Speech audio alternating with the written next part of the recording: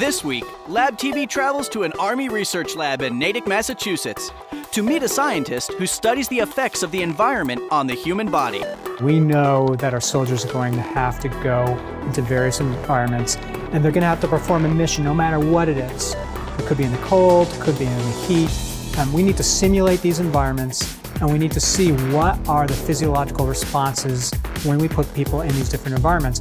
To test the effects of extreme climates, the Army has two climatic chambers, an Arctic chamber and a tropic chamber. They can make wind and rain and create temperatures from minus 70 to 165 degrees. Today, we're in the tropic chamber, studying the effects of heat. When you go out into the heat, you're going to absorb heat from the environment. Body temperature typically is around 37 degrees C. And as you get hot, your core temperature, the temperature inside your body, is going to increase. The other thing that's going to increase is your skin temperature. And those two pieces of information will go up to your brain, to your hypothalamus particularly. So the hypothalamus says, okay, we need to get some of this heat from the body core out. So it does two things right off. The first thing is peripheral vasodilation. When you see people exercise, you'll see they become very flush. That's peripheral vasodilation.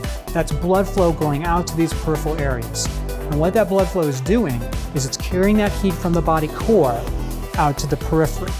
So then the skin temperature then begins to rise. The second thing that the hypothalamus then tells your body to do is to start sweating.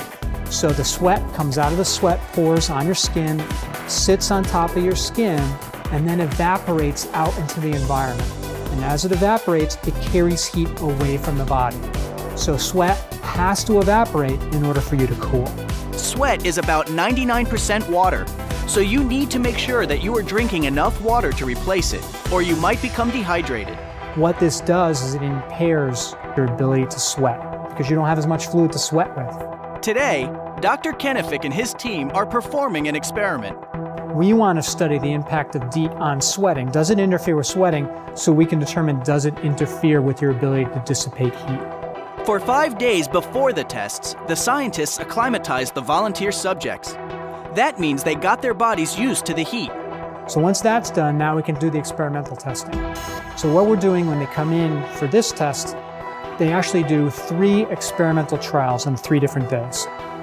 We'll do a control trial. So this control trial is what happens when you don't wear any DEET whatsoever? What is your normal ability to sweat? So we measure that with the capsules.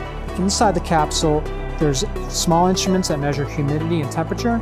So when it gets more humid in there, it tells us, okay, this guy is starting to sweat. Another day, we actually put DEET on an area of their arm, and we see whether or not DEET interferes with their ability to sweat. And then we do, in order to simulate how they actually use it in the field, we do what we call the full DEET trial.